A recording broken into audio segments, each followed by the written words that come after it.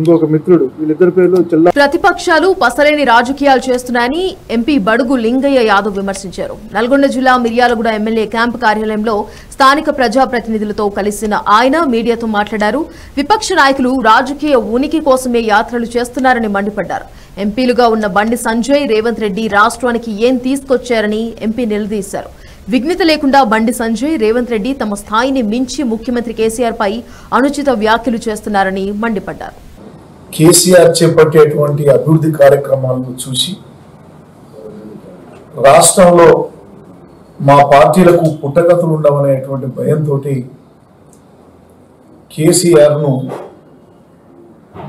స్థాయికి మించినటువంటి విమర్శలు చేయటం దురదృష్టకరం.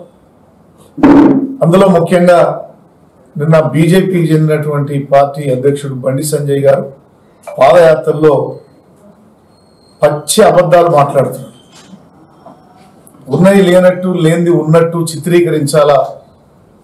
టిఆర్ఎస్ ప్రభుత్వాన్ని అప్రదిష్ట పాలు చేయాలనేటువంటి తప్పుడు ఆలోచనతో ఉన్నారు.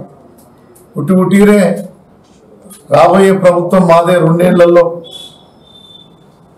మేమేదో ఇక్కడ బాగు చేస్తామని మాట్లాడుతున్న బండి సంజయ్ గారు నీ మోడీ ప్రభుత్వం ఇవాళ భారతదేశంలో మరి ఏ ఒక్కటైనా మంచి పని చేసిందని మేము అడుగుతున్నాం.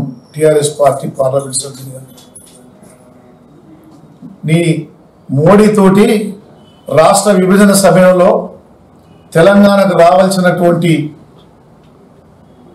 నిధులు కానీ ప్రాజెక్టుల విషయంలో కానీ ఎన్నిసార్లు మోడీని కలిసినా కేంద్ర మంత్రులు కలిసినా మా రాష్ట్ర ముఖ్యమంత్రి కేసీఆర్ కలిసినా